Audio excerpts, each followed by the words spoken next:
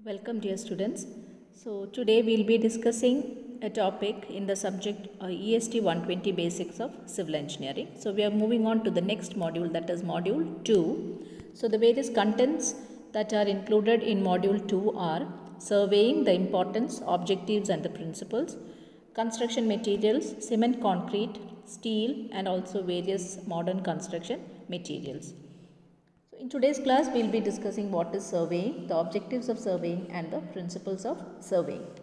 So uh, I am sure you all would have heard the term surveying. So what do you mean by surveying? So surveying is actually the art of uh, determining the relative positions of points on, above or beneath the surface of the earth and uh, these positions are determined either by direct or by indirect measurements of say distances the directions and the elevations. So, it is it simply means the art of taking measurements.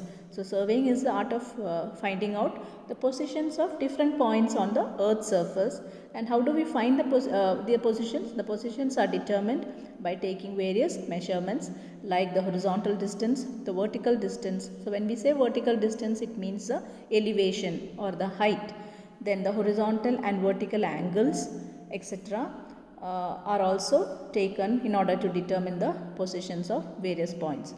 And also surveying includes the art of setting out or locating the points on the ground from the plan or a map. So suppose you have a plan or a map, using this plan or map you can even determine the particular point on the plan on the ground. So in order to determine or to set out uh, or to locate a point which is present in a or which is uh, there on a map or a plan on the ground again this process of setting out we call it as surveying.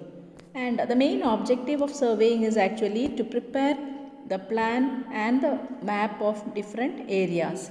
So we can also say that surveying is a process of preparing a plan or a map and it is very much necessary to lay out uh, the process of surveying is actually used for determining say the area of a plot for laying out the alignments of the roads then for railways for bridges canals tunnels etc or airports seaports etc so in any project so if, you know, whenever uh, we undertake any engineering project the first step towards uh, the beginning will be to do a surveying. So surveying is very important in any engineering project or it is considered the first step of any engineering project. So I hope it is clear the term surveying. So it is in simple words it just means taking measurements on the ground. Now what are the various objectives or purposes of surveying? So there are uh, like I told you it is to take the measurements and to determine the relative position of the features uh, on or near the ground and of course to prepare a map or a plan so as to show the relative position of the objects. So whenever we draw a map or a plan we know that we do it with respect to some suitable scale. So whenever you measure a particular area on the ground you will reduce that area to particular scale and only then you plot it as a plan or a map.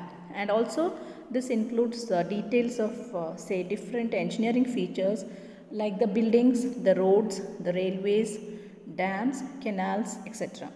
And also another objective is to lay out or to mark the position of the proposed structure on the ground. Suppose there is a building or any structure on the ground, you have to mark this particular structure or building on the plan or a map. Again we do a surveying.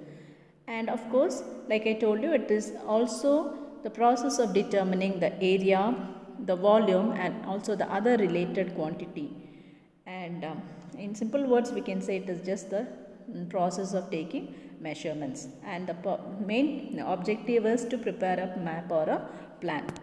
So I hope it is clear uh, what are the various objectives of surveying. Now again it's also uh, the same thing here. So the purpose of surveying is like to prepare uh, archaeological, geological or military maps, then to establish uh, boundaries of properties with reference to available records.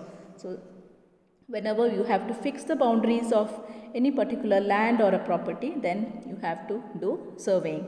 Then also, whenever you need to cut a soil uh, or take out a trench etc there also you will have to measure the volume of soil that is removed so again in order to measure the quantities we have to do the surveying then of course to plot the profiles for finding the capacity of a canal or a reservoir etc you need surveying.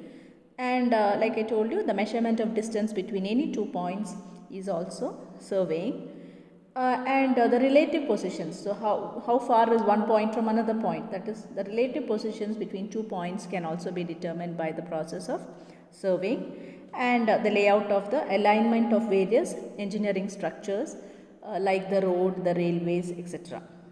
Okay. So, these are the main purposes of surveying and it is also used as an application in the geographic information system which we call as the GIS or GIS.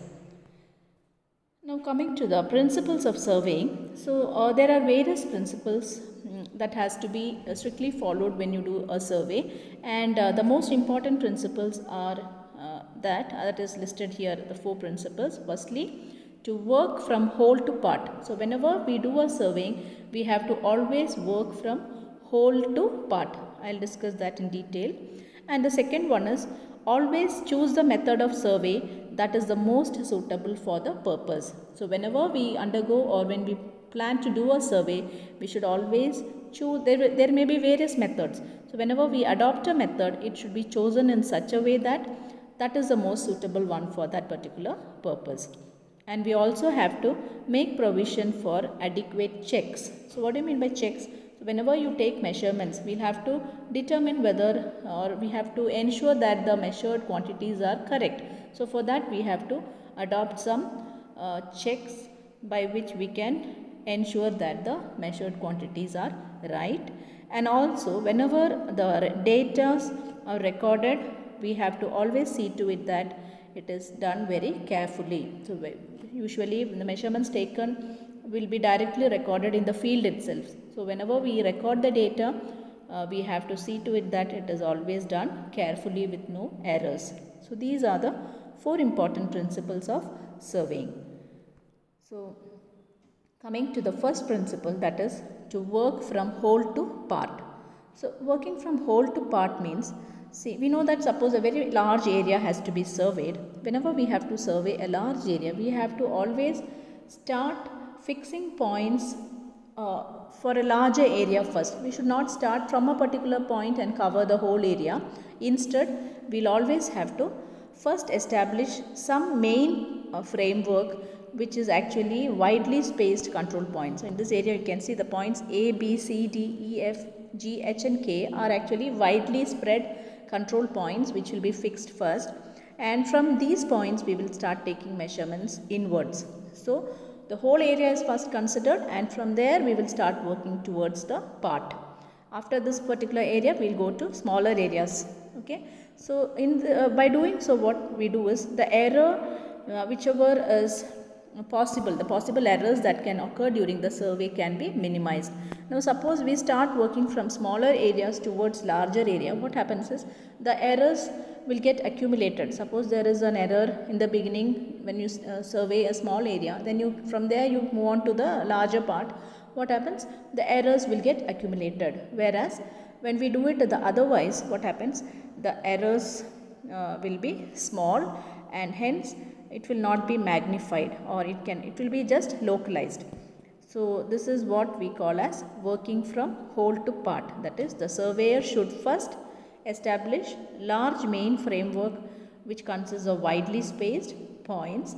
And between the large framework we have to uh, create or make small framework which has to be established.